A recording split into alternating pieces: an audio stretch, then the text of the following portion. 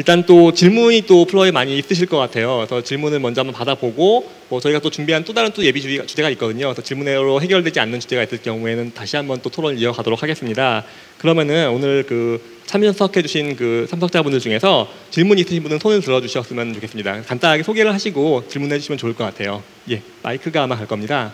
네, 그 생후 10살부터 생후부터 10살 이전까지의 이제 유아동기에 해당하는 아이들에게 그 적기적이고 그러니까 뇌 발달 상황에 따라서 적기적이고 적극적인 교육이 유아 뇌 기억에 어떤 영향을 미치는지 굉장히 궁금합니다. 유아 때 연령에 따른 어떤 적시적인 그런 교육이 있는가 이런 말씀이시죠? 예, 혹시 어떤 분께서 그, 그 사람을 대상으로 하는 그런 연구에는 굉장히 좀 윤리적인 측면이라든지 우리가 조심스럽게 접근해야 될 그런 부분이 있다라는 것을 먼저 말씀드리고 싶고요.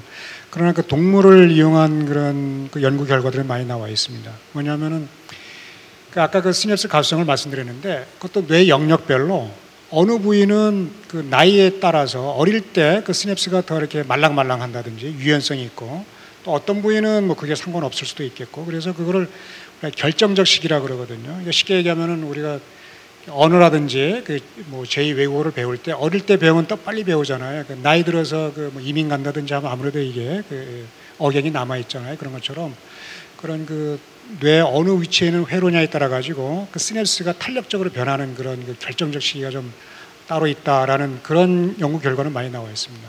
뭐 언어 말고도 동물 같은 경우에는 아, 동물은 언어를 쓸 수 없기 때문에 그 눈에 대한 시각 정보를 처리하는 그런 회로는 그갓 그 태어났을 때 빛을 처음 봤을 때 굉장히 중요하거든요. 그때 놓치면은 이제 뭐 사시가 된다든지 눈이 제대로 그 작동 안 할 수가 있습니다. 그런 것을 이제 너무 확대 해석해서 무조건 어릴 때 조기 교육을 해야 된다라든지 그렇게 확대되는 거는 우리가 좀 더 조심스럽게 봐야 될 것 같아요. 그 부분은 동물에서 연구 결과는 그런 것이고 또 교육이라든지 그 육아라든지 그런 그 사람을 다룰 때는 또 나름대로 기준에 의해 가지고 그 또 좀 더 그 정교한 연구, 통제된 연구가 되었을 때 그 어떤 그 지금 질문하시는 거에 대한 그 답이 나오지 않을까 싶은데요.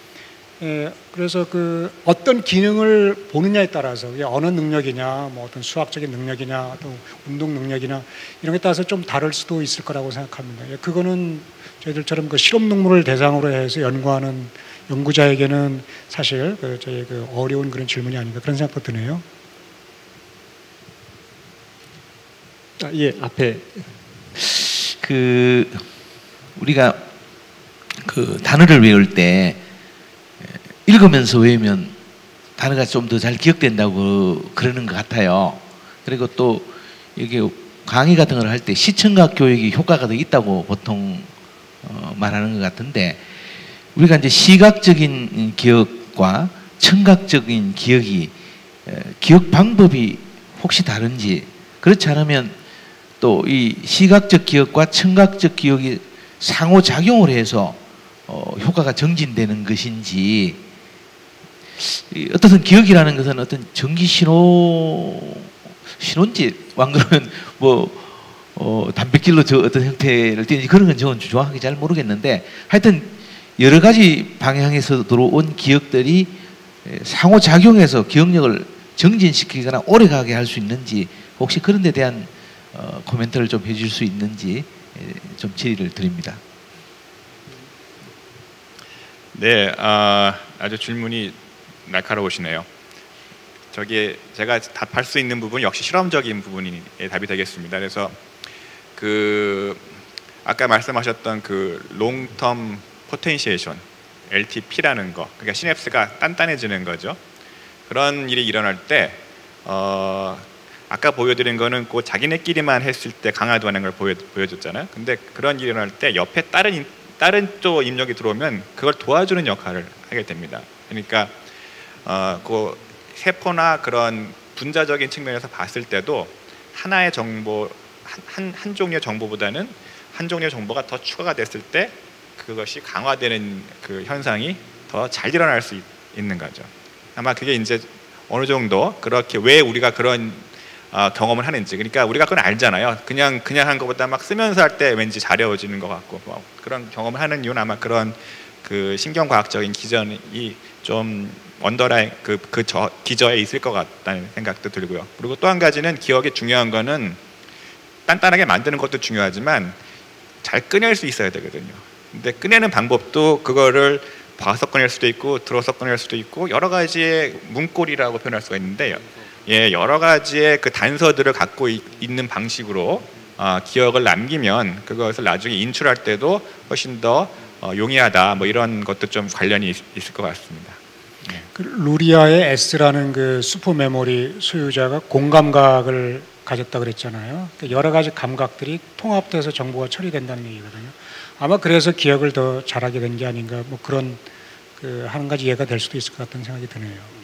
그리고 또 하나만 추가를 해드리면 우리가 기억을 한다라고 할 때 카메라나 녹음기처럼 세상에서 주어지는 정보를 그대로 머릿속에다가 뭐 박아 넣는 게 아니거든요. 어떤 식으로든 나름대로 재구성을 해서 그게 내 일화적인 사건들이면 스토리를 만들어서 넣는 과정인데 시각적인 자극만 그대로 보여주거나 아니면 소리만 들려주면 아무래도 그걸 있는 그대로 기억을 하려고 하는 데 반해서 다양한 그 감각을 통해서 들어오게 되면 그거를 내가 기억하는 과정에서 다시 재구성을 하게 되니까 훨씬 더 오래 남는 방식으로 어, 정보를 저장할 수가 있어서 어, 그런 면에서 오는 그, 그 이점도 있는 것 같습니다. 네, 죄송한데 네. 시각적 네. 청각적인 음, 형태를 통해서 어, 들어온 기억하고가 서로 이렇게 분리되거나 아, 네. 빨리 잊혀지거나 하는 그런 현상이 네. 일어나는 어, 식으로 될 가능성 같은 건 없나요? 네, 뭐 분리되어 있고요. 그리고 사실 그 시각적인 정보를 이용하는 게 기억을 더 오래 유지하는 데 유리할 수도 있어요. 왜냐하면 우리 뇌는 기본적으로 영장류이기 때문에 시각이 더 발달되어 있거든요. 우리 뇌 전체의 한 50%는 다 시각 정보를 처리하는 데그 할애되고 있습니다. 그렇기 때문에 그, 그 기억 술사들을 보게 되면은 그 산책 기법이라 그래가지고 그 외우고자 하는 그런 아이템을 어떤 그 시각적인 대상에 그 대입해서 하나하나씩 그 기억하는 그런 방법들을 많이 쓰거든요. 그만큼 우리 뇌는 시각에 더 민감하고 정보 처리가 우, 어, 뛰어나기 때문에 그 시각적인 어, 것을 그 이용하는 게 좀 더 그 유리할 수 있지 않을까 그런 생각도 드네요. 예. 청각 정보가 처리되는 영역과 시각 정보 처리되는 영역 다를 수가 있습니다. 예. 지금 사실 질문하신 거는 뇌과학에서 아주 제일 중요한 질문 중에 하나예요. 그 말하자면 뇌 여러 군데에 그 나뉘어서 저장된 정보가 내가 실제로 인출을 할 때는 어떻게 하나의 정보인 것처럼 느끼는지 하는 거잖아요. 근데 그거는 시각과 청각뿐만 아니라 시각도 그래요. 사실은 시각도 들여다보면 아, 제가 이게 오렌지 주스를 봤을 때 이 오렌지 주스의 색깔이 저장되는 영역과 이 오렌지 주스의 그 어, 색깔 말고 예를 들어서 형태 이런 게 저장된 영역이 분리돼 있어요. 그럼에도 불구하고 오렌지 주스 병이라고 하는 걸 통으로 하나로 지각하잖아요. 이거를 영어로는 binding problem이라고 하는데 우리말로 번역이 뭔지 모르겠습니다. 그걸 얘들이 어떻게 묶어 갖고 하나의 경험을 하는지는 사실 우리 아직 잘 몰라요. 굉장히 그 어려운 질문을 하셨어요.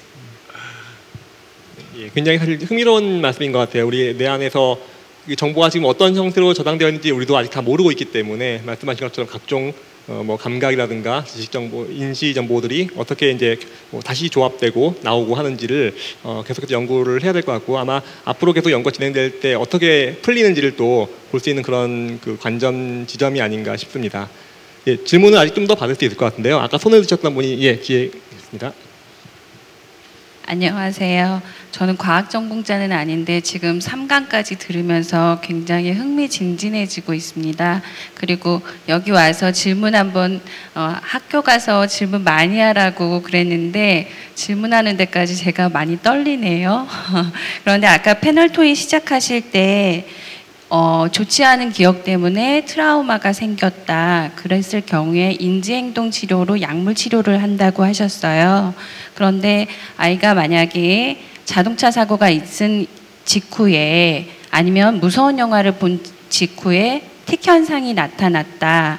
그랬을 경우에 그것이 단순히 그 외상후 스트레스 때문인지 아니면 그 아이의 뇌 구조에 문제가 있는 건지 아니면 체질적인 문제인지 그거 하나가 궁금하고요. 그리고 내 지금 오늘 기억 찾기에 관련된 질문이 적합한지는 모르겠으나 내, 내 과학에서 틱 현상에 관련된 연구가 어느 정도 진행이 되고 있는지 궁금합니다.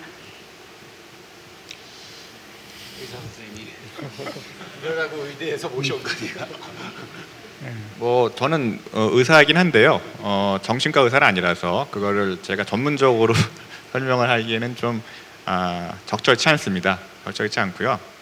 아, 다만 음, 그런 어, 이 현상이 뭐 음, 그러니까 틱 현상이라고 그러신, 그러신 거죠.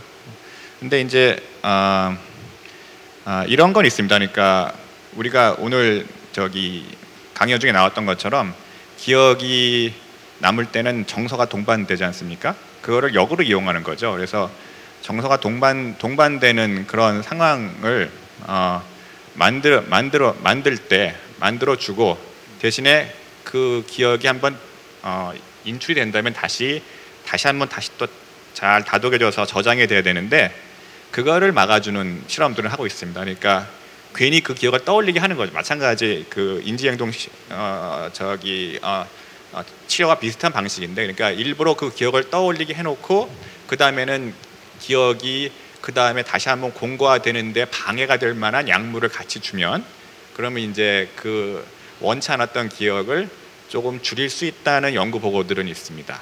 그래서 그렇게는 이제 시도가 되고 있고요. 좀 구체적인 질환에 대해서는 제가 설명 못 드려서 죄송합니다. 네. 예, 뭐, 또 다, 아, 아무래도 그 전문의를 찾아가시는 게 저희 강연 때 예, 이런 예, 질문 예, 받는 게 뭐, 제일 뭐, 어렵죠. 예, 근데 다음 어, 일단 예고를 해드리겠지만 다음 강의가 조금 그 관련이 돼 있습니다. 그때 아마 좀 더 질문을 하시면은 깊이 있는 그, 그 임상과 관련된 대답들을 들으실 수 있을 것 같아요. 예, 한 분 정도 더 받아볼까요? 예, 지금 방금 손을 드셨습니다. 네, 저, 저는 과학 하고 별로 연관이 없는 그냥 일반인인데요. 요즘 그 디지털 치매, 디지털 치매라는 얘기를 되게 많이 하는데 전자기기를 많이 사용하거나 TV를 많이 보거나 하면 기억력이 저하가 되고 뭐 치매가 올 확률이 높아진다고 얘기를 해요. 그래서 그 책을 읽는 것도 그 전자기기로 그 책을 읽는 것보다 그 인쇄된 책을 읽는 것이 어, 뇌에는 훨씬 좋다라는 얘기도 나오고 근데 제가 그냥 일반적인 사람으로 생각해 볼 때는 TV를 보거나 뭐 책을 인쇄된 책을 보거나 아니면 뭐 전자기기로 의한 책을 보거나 어차피 뇌에 정보를 제공해 주는 거는 똑같은데 그러면 전자파 때문에 단, 단지 전자파 때문에 그게 치매 현상을 일으키는 건지 똑같은 정보 제공을 하고 어, 전자기기로 열심히 공부를 해도 치매하고 연관이 있는 건지 그게 질문 첫 번째고요. 그 다음에 이제 그 나이를 먹으면서 노화에 의해서 기억력이 감퇴가 되잖아요. 근데 알츠하이머도 결국은 뇌가 그 노화되는 현상이라고 그러더라고요. 근데 그러면 그 나이가 들어서 노, 그 기억력이 감퇴되는 게 결국은 치매까지 연관이 되는 건지 아니면 그 노화와 그 다음에 알츠하이머는 별개인 건지 그게 되게 궁금합니다. 의과대학의 압박이 느껴지는 건 왜 그런 거죠?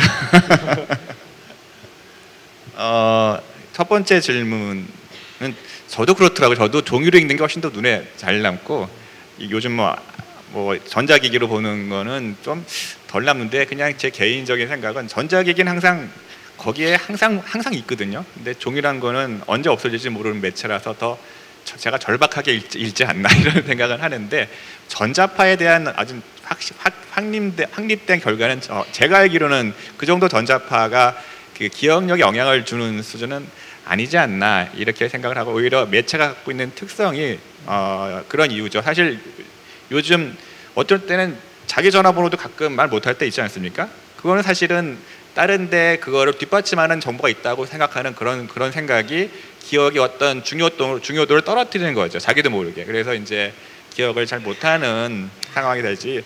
이 매체의 다른 어떤 전자적인 특성은 특성은 좀 아닐 수 있을 것 같다는 생각이 좀 저는 그 책을 사랑하는데 책을 읽을 때는 이게 손으로 만져야 되거든요. 그 책들마다 그 재질이 다릅니다. 그 잉크 냄새가 나기도 하고요.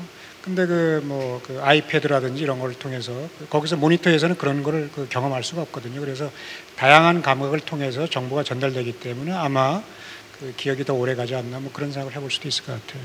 저는 그건 좀 생각이 좀 다른데 저도 종이 그 논문 같은 거 프린터를 뽑아서 읽는 걸 좋아하는데 바꾸려고 노력을 합니다. 왜냐하면 종이 하는데 나무를 깎아야 되고 앞으로 점점 이렇게 갈 텐데 적응을 해야 되지 않나. 다음 세대들은 전자책을 읽게 될 테니까. 그래서 저는 좀 노력을 하고 있는 중입니다. 그리고 익숙해지니까 괜찮더라고요. 화면으로 보는 거. 맞습니다. 저, 저희 저희 실험실도 프린터 출력 많이 줄이고 스- 스크린으로 보고 있습니다. 예, 극적 화 극적 화합으로 이렇게 맺었는데 그 디지털 치매 관련해 가지고는 저도 옛날에 궁금해서 좀 취재를 하고 한 적이 있었는데 아직은 답은 없는 것 같아요. 그러니까 그 주장하시는 분은 계속 뭐 독일이나 이런 분들 전문가분들이 계셔 주장하시는 분들도 계신데 또 반대로 그걸 또 뒤집을 만한 또 명백한 또 근거도 사실 많지는 않고 이래가지고 현재로서는 좀 아마도 이런 매체가 가지고 있는 어떤 특성 뭐 그 패드라든가 이런 것들이 가지고 있는 그 태블릿이 가지고 있는 어떤 그 빠르게 변한 특성이라든가 말씀하신 것처럼 이제 여러 가지 감각을 할 수 없는 되게 단조로운 그 감각 특성이라든가 뭐 그런 점 때문에 아마 있는 게 아닌가 싶습니다. 예, 그러면은 질문이 또 많으실 것 같긴 한데 아, 예. 아, 치매에 관한 질문이셨죠. 그것도 역시 일단은 전문가와 상의하시는 게 맞, 맞는데요. 제가 제가 아는 바로는 치매와 단순한 어, 기억력의 저하는 다른 것으로 알고 있습니다. 그래서 그것을 같이 동일시해서 보시면 안 되고요. 치매가 의심되시는 경우에는 전문가를 만나시는 게 맞고요. 기억력은 자연스럽게 감퇴합니다. 그렇지만 아까 말씀드렸다시피 일- 단순 기억력은 감퇴하지만 그 뇌가 갖고 있는 보다 고차원적인 능력들은 80세까지도 멀쩡하다고 연구가 되어 있습니다. 물론 사람에 따라서 빨리 감퇴할 수 있죠. 몸을 혹사시키면. 그렇지만 잘 관리된 유전자가 좋은 사람들은 80세까지 판단 능력, 여러 가지의 사람을 하는 사람들을 이렇게 보는 여러 가지의 그런 능력, 인지 능력들이 괜찮다고 되어 있습니다. 그 나이 드신다고 다 알츠하이머 치매 걸리는 거 아니거든요. 예, 부류가 따로 정해져 있습니다. 예. 그러면은 지금 또 대전에서 이 강의를 또 굉장히 집중력 있게 보고 있는 우리 예, 대전 동신과학부 학생들을 연결하도록 하겠습니다. 학생들 강의 잘 들었어요? 예, 딴 때보다 더 똑똑 들어오지 않아요? 예, 기억에 대한 묘법을 알려드렸기 때문에 아마 내일부터 잘 실천을 하지 않을까 싶은데요. 자, 그럼 그 질문이 있다고 들었는데 한번 질문 크게 한번 말씀해 주세요. 네, 안녕하세요. 저는 어, 동신과학고 1학년 장민혁입니다. 어, 제가 어, 아, 강의 잘 들었습니다. 제가 어, 제가 가지는 의문은 어, 기억이 어떤 식으로 저장된지입니다. 그러니까 아까 토론 중에서 어, 기억을 저장한데 단백질 합성이 필요하다고 하셨는데요. 그러면 기억을 어 뭐 그 신경세포 외에 있는 어떤 화학 물질에 저장한 그런 그런 어 안 그럴 것 같지만 그리고 아니면 그냥 시냅스만으로 그 기억이 어떻게 저장된지 그러니까 그 기억이 저장된 그 근본적인 어 방법이 아니 그러니까 네 뇌에서 하는 그 방법이 궁금합니다. 아, 그 요약하면은 어, 이제 연결에 대한 얘기는 아까 강연에 많이 들려주셨는데 그게 아니고 어떤 물질적인 차, 그 수준에서 차원에서 어, 과연 기억의 정체가 무엇이냐 이렇게 이해하면 될까요? 네. 네. 교수님께서 직접 예, 답을 해주세요. 네, 그 기억이 저장되는 원래는 그 시냅스의 그 전달 능력이 그 변화하는 그 시냅스 가수성으로 말씀드렸습니다. 그리고 그런 그 시냅스 기능이 오래 가기 위해서는 그 아까 그 시냅스에 보면은 단백질들이 괜히 종류가 많았잖아요. 그런 그 단백질들이 보강되면서 시냅스의 구조가 커지고 그래서 뭐 우리 그 부자가 망해도 3년 간다는 그런 얘기가 있는 것처럼 일단 크게 만들어지는 게 큰 집을 짓는 즉 시냅스를 크게 만드는 게 굉장히 중요한 거거든요. 근데 그럴 때 우리 단백질 합성이 필요한 겁니다. 근데 그때 그 어, 단백질 합성을 못하게 하게 되면은 시냅스가 커져야 되는데 그 시냅스의 기억이 저장돼야 되는데 어, 그 어, 장기 이익이 안 일어나는 거거든요. 그럼 시냅스하고 기억은 무슨 관계냐? 사실 우리가 그 어, 아무리 간단한 기억이라고 한 이래서 뭐 춘선님께서 뭐 이런 자 이 이 주스에 대한 그 기억을 한다고 했을 때 그럼 여기에 노란색 그다음 어, 그 오렌지색 그 뚜껑 그다음에 뭐 상표가 없다라는 거 뭐 사각형이라는 거 이 모든 것들이 사실 우리 뇌에 여기저기 분산되어 있는 시냅스에 다 저장되는 거거든요. 그리고 나중에 이거를 회상할 때는 그 분산된 시냅스를 다 해체 모여서 다시 불러야 되는 거예요. 그래서 지각 과정에서는 이런 정보의 그 분해 작용이 일어나고요. 그다음 그걸 인출할 때는 그 저장된 시냅스를 다, 다시 불러 모아 가지고 다시 조립을 해야 되는 겁니다. 예. 그게 그 기억이 저장되는 그런 원리라고 어, 어떤 단백질 하나가 특정한 기억을 저장하는 게 아니고요. 시냅스를 강화하는데 그런 도구로서 단백질 합성이 필요하다. 그렇게 이해를 하시면 될 것 같아요. 네, 그러면 그 정보가 정보가 어- 어떻게 저장되는 거예요? 그거에 아, 그, 그러니까 그러니까 제그 보통은 어 컴퓨터 뭐- 몇 기가바이트 그런 거에 익- 익숙해서 그런 건데 그거랑 물론 다르겠지만 그 예를 들어 그러니까 주황색이라는 그 색깔 오케이. 네. 자체 정보 자체를 어떻게 우리 저장을 그 뇌는 그런 특정한 정보를 처리하고 저장하는 그런 특수한 회로가 다 깔려 있어요. 그 어느 회로를 쓰느냐에 따라 가지고 즉 그 정보를 거기다가 저장할 수 있는 것이죠. 예. 그래서 그 회로라는 거는 이미 뭐 지정되어 있다 이렇게 보시면 될 거예요. 그래서 오늘 이게 그 오렌지 병을 얘기한다면은 아마 그 시각 중추 거기도 보면은 그 사물들을 대체적으로 저장하는 데 관련되는 그런 시각의 또 영역이 있어요. 그 다음에 그, 어, 뭐, 우리가 그, 저희 어떤 사건을 기억할 때는 시각적인 것만이 아니라 뭐 소리, 음성, 뭐 할머니 한번 생각해 보세요. 할머니 하게 되면 할머니의 그 주름진 얼굴이라든지, 그 다음에 그, 어, 저기 뭐, 어, 백발의 머리라든지 뿐만 아니라 할머니의 그 음성, 그 다음 또 할머니의 그런 그, 저희 그 얼굴 모습, 그 다음에 옷매무새, 또 할머니와 가졌던 여러 가지 어릴 때 추억, 굉장히 다양한 정보들이 있는 거거든요. 예, 그런 정보들이 각각 쪼개져 가지고 각 쪼개져 있는 그런 그 기억의 요소들은 뇌 전체 거의 뇌 전체에 퍼지면서 그다 이게 저장이 되는 것이죠. 근데 우리가 그거를 그 할머니에 대한 기억을 그 다시 인출하기 위해 회상하기 위해서는 여기저기 분산되어 있는 그런 정보들을 다 다시 불러 모아 가지고 같이 연결했을 때 할머니에 대한 통합된 그런 기억이 되살아나는 거예요. 생생하게 되살아나는 것이죠. 예. 그래서 그 정보마다 특수하게 저장될 수 있는 그런 그 회로들이 그 뇌에 이미 뭐 깔려 있다 이렇게 보시면 될 것 같아요. 그 조금 뭐 추가 설명을 드리면 사실 고등학생이 이해하기가 쉽지가 않은 게 뇌과학인 게 어, 이게 그냥 생물학 지식만으로는 안 되고 일종의 철학적인 모델을 조금 도입해야만 이해가 되는 부분이 있는데 지금 정보의 본질에 관해서 사실 질문을 한 거고 본다라고 하는 경험에 대해서 지금 질문을 해서 굉장히 어려운 철학적인 질문을 두 가지를 던진 거예요. 사실 본다라고 하는 거는 어느 정도는 뇌학, 뇌과학으로 설명이 돼요. 제가 강봉균 교수님의 지금 얼굴 얘기하셨으니까 얼굴을 본다라고 했을 때 제 뇌에 있는 약 천억 개의 뉴런 중에 적어도 한두 개는 강봉균 교수님의 얼굴이 내 눈을 통해서 입력이 되면 반짝반짝하고 빛나는 뉴런들이 있어요. 자, 그럼 그러면 강봉균 교수님의 얼굴을 본다라고 하는 행위는 설명이 된 거죠. 본다는 별게 아니에요. 요렇게 생긴 그 얼굴이 자꾸 강봉균 교수님의 잘생긴 얼굴을 제가 자꾸 들여다보게 되는데 요렇게 생긴 얼굴이 들어오면 거기 있는 뉴런이 반짝반짝 하는 거예요. 그럼 그 반짝반짝 하는 거랑 내가 본다라는 경험을 하는 거랑은 무슨 상관이냐라고 하는 질문이 여기에 사실 숨어 있는 거거든요. 그거는 우리가 철학에서 옛날부터 얘기한 의식적인 경험, 뭐 퀄리아라 그러죠. 의식적인 경험의 질에 관한 얘기인데 사실 그거는 지금 뇌과학으로서도 아직 답이 없는 되게 어려운 문제예요. 내가 주관적으로 하는 경험이 뇌에서 어떻게 표상이 되는지. 그래서 그거는 학생이 열심히 공부해가지고 좀 밝혀주세요. 예, 어, 굉장히 그 심도 있는 질문을 해주신 것 같아요. 정, 정보라는 것이 과연 내 어딘가에 우리는 이제 저장이라는 측면을 항상 이제 비유를 하기 때문에 저장돼 있으면 어딘가 물리적 실체가 있을 것 같다는 생각을 아마 하셔서 그런 질문을 한 것 같은데 뇌라는 것은 우리가 생각하는 다른 어떤 저장 매체하고 다르죠. 어, 연결망이라고 할까요? 그거에 의해서 규정이 되는 것이고 그 연결 상태 자체가 그것 어떻게 본다면은 그 기억을 그 규정하는 게 아닌가 싶어요. 그래서 지금 어느 뭐 반도체 어디인가에 뭐 신호가 새겨져 있는 것하고는 좀 다른 방식으로 이해를 해야 하지 않을까 싶습니다.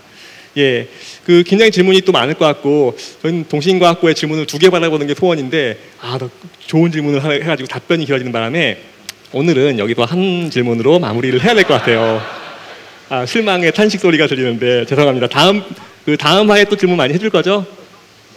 아, 예, 예, 감사합니다. 그 오늘 이제 한 시간에 걸친 강연과 또 30분이 넘는 토론 그리고 질의응답까지 모두 마쳤는데요. 어떻게 세분 그 교수님들 어떻게 즐거우셨나요? 예, 그 긴 시간 감- 함께 해주신 여러분 감사합니다. 오늘 그 세 분께 한번 소감을 여쭤보고 싶은데요. 아, 먼저 오늘 김 교수님 오늘 어떠셨나요? 아, 네. 저 개인적으로 아주 즐거운 경험을 했고요. 이 오늘 기억에 대해서 여러분 같이 공부할 수가 있었는데요. 그 우리 인류가 사실은 이 변하는 세상에 적응해 온 거는 유전자 덕- 덕분이지 않습니까? 유전자 변이와 적응 때문인데 여러분 개개인이 이 험난한 세상에 여러분 개개인의 개성을 갖고 이 우뚝 서 있을 수 있는 것은 여러분들의 기억 때문이 아닌가 이런 생각하고 앞으로도 이 기억에 대한 연구도 많이 좀 지켜봐 주시길 바라는 마음입니다. 감사합니다. 예, 최 교수님도 한 말씀 부탁드립니다. 맞아요. 사실 그 저는 시- 실험실에 틀어박혀서 그 쥐 가지고 연구하는 사람이거든요. 뭐 그 유명한 누군가 그 얘기를 했죠. 음악가는 사실은 음악가한테 물어보면 음악가는 늘 돈 얘기만 한대요. 그리고 사업가한테 물어보면 사업가는 음악 얘기를 한다고 합니다.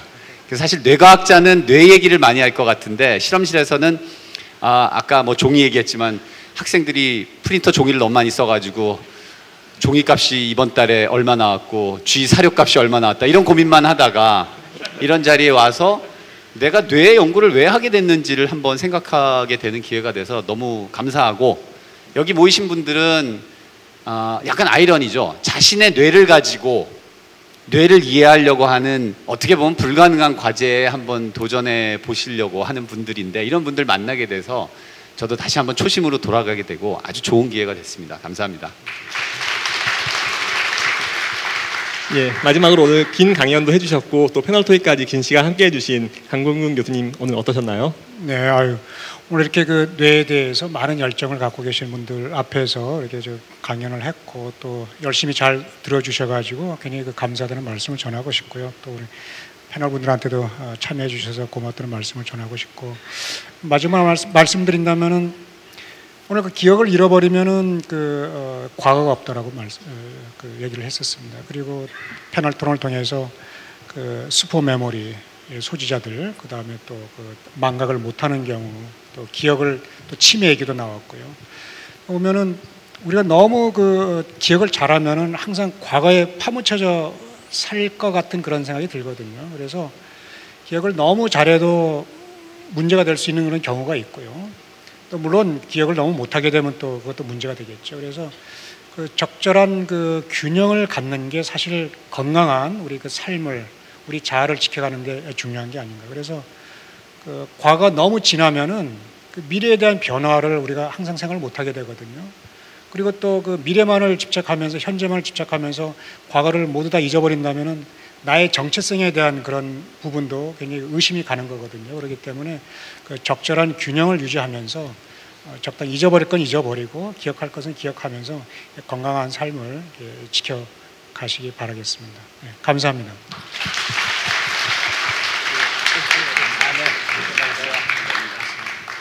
어떻게 즐거우셨나요? 예, 아 진짜 정말 그 공세를 많이 해주신 것 같습니다. 저도 상당히 즐거운 시간이었고요. 우리 모두가 가진 어떤 특출난 능력 두 가지를 이번에 확인하는 그런 시간이었던 것 같아요. 기억이라는 능력하고 망각이라는 능력입니다. 모두가 가지고 있고 모두가 적절히 활용해서 이 시간까지 생존해 오고 있는 그런 기술이 아닌가 싶습니다.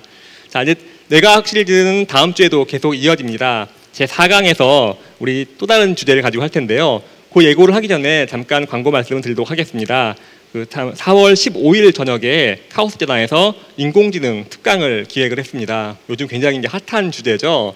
어, 그날 금요일 저녁인데요. 그 정재승 교수와 진중건 교수를 모시고선 인공지능을 바라보는 두 가지 시선이란 제목으로 어, 진행을 하게 됩니다. 이 접수는 내일부터 시작이 됩니다. 우리 재단 홈페이지에서 신청 댓글을 남기시면은 그 중에서 선발해서 진행을 한다고 하니까요. 관심 있는 분들은 홈페이지 가셔가지고선 네, 댓글을 꼭 달아주시기 바랍니다.